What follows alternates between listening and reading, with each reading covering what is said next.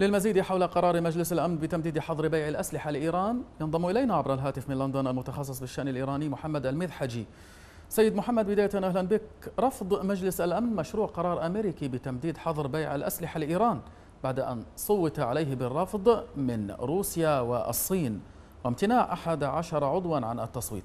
كيف تقرأ هذا التصويت وخذلان حلفاء أمريكا لها؟ في البداية تحياتي لحضرتك والسادة المشاهدين. أهلا بك آه طبعا هذا جزء من الصراع الدولي الدو الدائر حول السيطرة على حوزات النفوذ في منطقة الشرق الأوسط بشكل خاص والصراع حول التحكم بالنظام المالي العالمي ما بين الولايات المتحدة والصين وحلفاء الصين خاصة في أوروبا كألمانيا. وجزء من من بريطانيا وكذلك جزء من فرنسا. وهذا يفسر بهذا الجانب التصويت الأوروبي ومن مع أوروبا والصين ومن مع الصين ضد قرار الولايات المتحدة بتضييق الخناق على إيران بصفتها العقدة الرئيسية في المشروع الأوروبي الصيني المعروف باسم طريق الحرير الجديد. أمريكا اليوم لم تحسم المعركة الدبلوماسية لصالحها كما يرى كثيرون. وفي المقابل إيران تصور رفض المشروع انتصارا، إلى أي مدى يعد عدم تمديد القرار انتصارا لإيران كما تصوره طهران حاليا؟ هو انتصار للصين وليس لإيران.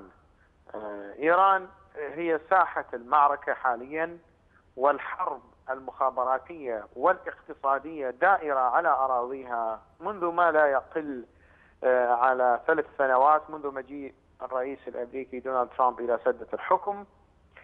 وهذا لا يعتبر انتصارا لإيران بالعكس يعتبر انتكاسة لإيران لأنها أصبحت ساحة للصراعات الدولية وهي كانت بمنأى عن هذه الصراعات خلال السنوات والعقود الماضية. رغم أنها كانت لاعبا في هذه الصراعات وكنا نشهد انه إيران حرقت افغانستان والعراق وسوريا ولبنان واليمن وباقي المناطق، لكنه الآن النار تنتقل إلى داخل أراضيها وشاهدنا التفجيرات الماضية. لكنه النقطة الأخرى الذي يجب أن التي يجب أن ننتبه إليها هي أنه الولايات المتحدة ستفعل عقوبات أخرى تمنع إيران من الحصول على الأسلحة الفتاكة وهي لها علاقة بالاتفاق النووي وعلى الصين وروسيا أن يطرحا أو أي دولة أخرى كألمانيا أو فرنسا أن تطرح قرارا جديدا في مجلس الأمن لإلغاء هذا الجزء. وطبعا ذلك سي سي سيتم رفضه بحق النقض من قبل الولايات المتحدة. فالعقوبات عقوبات السلاح ستبقى على إيران. نعم. طيب برأيك إلى أي مدى أثر قرار الحظر الممتد منذ ما يقارب الخمس سنوات على قدرات إيران العسكرية؟ هل أثر كثيرا؟ نعم هذا القرار أثر كثيرا على إيران، طبعا الصين من خلال كوريا الشمالية أرسلت لإيران تقنيات وأسلحة خاصة لكن هذه الأسلحة لم تتجاوز حدود معينة بسبب هذه العقوبات.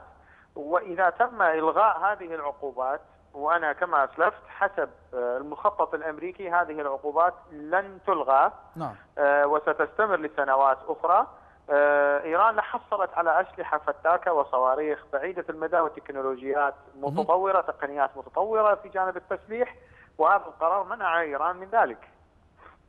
سؤالي الأخير إليك سيد محمد المذحجي بعد فشل أمريكا في تمديد قرار حظر بيع الأسلحة لإيران ما الهامش المتبقي للولايات المتحدة الأمريكية من أجل تقليم أظافر إيران في المنطقة؟ يعني حسب ما جاء على لسان السفير الأمريكي السابق في قطر قبل يوم أو يومين والذي كشف عن مخطط الإدارة الأمريكية لشن عملية عسكرية واسعة على إيران وقال إن الإدارة الأمريكية قد تبادر بهذه العملية حتى قبل الانتخابات والرئيس الأمريكي لن يستنى إلى ما بعد الانتخابات الأمريكية في شهر تشرين الثاني نوفمبر القادم آه، والولايات المتحدة بالنسبة عن الصراع مع الصين في إيران هو هكذا يجب أن يقرأ وليس الصراع مع إيران هو الصراع مع الصين داخل إيران نعم. آه، الملف بالنسبة للإدارة الأمريكية دونالد ترامب ملف محسوم ويجب حسم هذا الصراع لصالح الولايات المتحدة وإن لم يتم ذلك فالصين ستسيطر على حوزات نفوذ أكبر في منطقة الشرق الأوسط على حساب الولايات المتحدة، الموضوع لا له علاقة لا بإيران مباشرة